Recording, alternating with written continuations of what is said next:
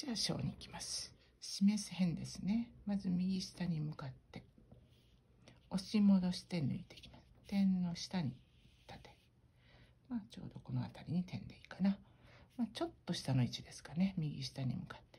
左よりも上から中心あたりに向かってね。だいたい小裏日ですね。沿って。まっすぐは上より短め。伏せては上の1中心を狙って辺より長く抜いていきます。